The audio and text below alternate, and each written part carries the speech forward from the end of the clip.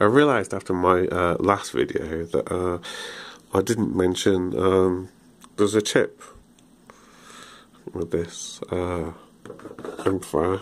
Uh, I forget what it's called. I don't think I can like focus on that with that. No,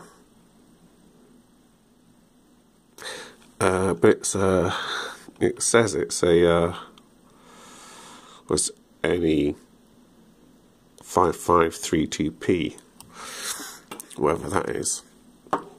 Anyway, well, so once you've got all your bits identified, you probably want to start to put some bits together. Uh, and there's lots of people who do it lots of different ways on the internet and YouTube videos. But I think the best way to do it is to approach it from a, a perspective of what is your accessibility level to the, the, the, components you put on. So if you put big things on, they're going to be in the way of smaller things you want to get in around the side of them. So if you start from the start from the bottom and work your way up, a lot of people say you'll you'll work from a, a good angle, and uh, the most sensible thing to start with are the resistors, obviously. So uh, let's like uh, clear these things away.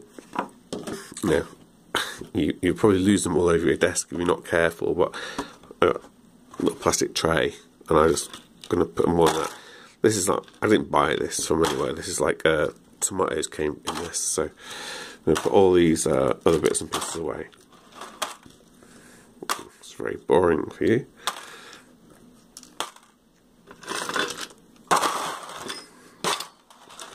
Just get other ones. You will come back and you will have like gone, oh no, where's that bit? I know, although you know you sort it all out, um, you know what you know know what each of the bits are.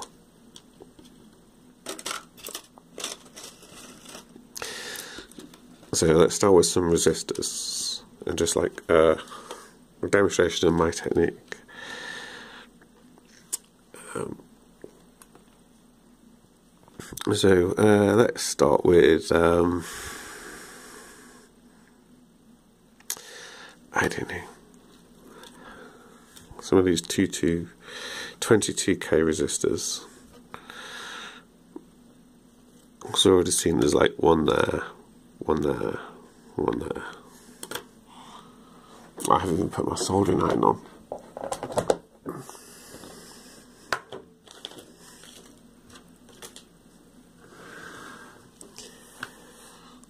That's annoying. uh, so let's take out, uh, let's, let's do these three. That one, that one, and that one. Take out those three. It's not difficult to extract them from the paper, I'm just trying not to rip the rest of them out. I've seen some people say that uh, rather than like rip it out of the paper, you should cut them off with your little snips because you get glue on the end the, the end of the on the end of the things on the end of the leads, and as you put it through the hole, the glue gets in there. Well, this is true. It can happen, but like you know, you shouldn't really. Uh, I don't think you should worry about it too much because you just wipe off your finger. And these these these wires are so thin in comparison to some uh, resistors you get. Now, uh, you want to bend this so it goes in the hole. It's worth it's worth holding it up against the hole. Get a gauge of how big, how how how how much you have to bend it. I've seen some people do it this way, where they hold uh, hold the resistance in the middle and then they bend their legs down like that, and then put it in. That.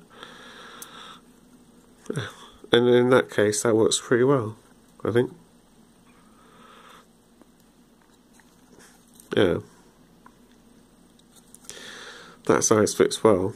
On other boards I've seen where the, where the pitch is a lot smaller, um, it, some can, it can sometimes be advantageous to like bend them individually like that. You get a narrower bend.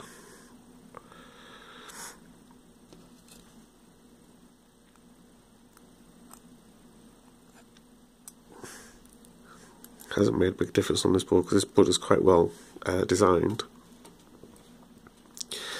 Um,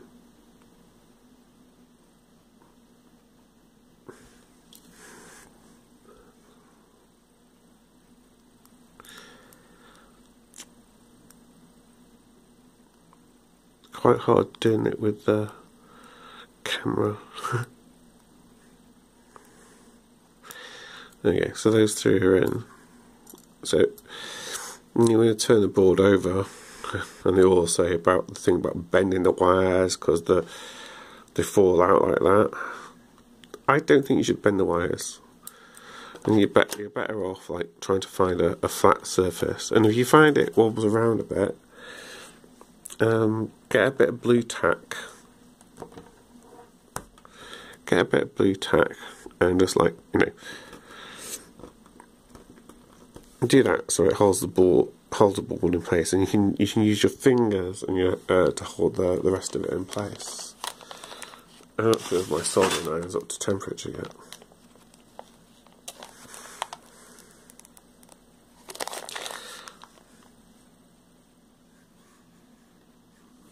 Okay, yeah, it is up to temperature.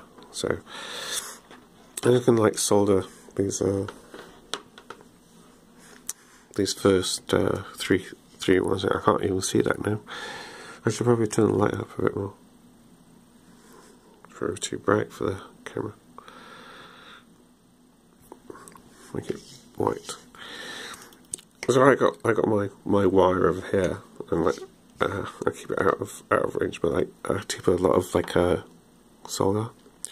So I haven't bent the wires over. Some people bend them over at a certain angle, but that just makes life a lot harder in the long run if remove them. So uh, press against there and oh damn. Okay, it isn't massively bent. We're just do one each first.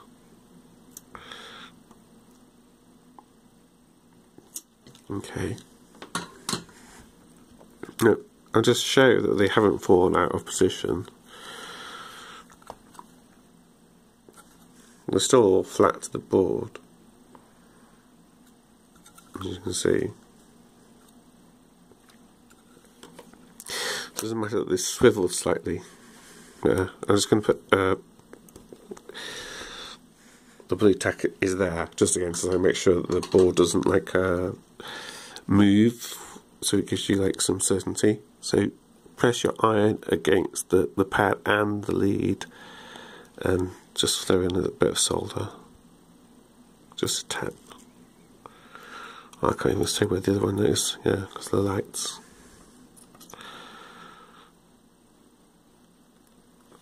That's it.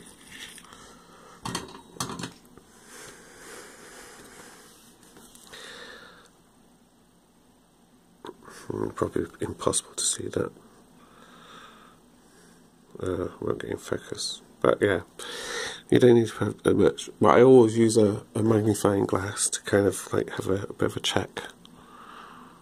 Did I get it? Did I do them right? Yeah. So they're all done, and then uh, uh, clip those leads off, and then uh, move on to the rest, and repeat.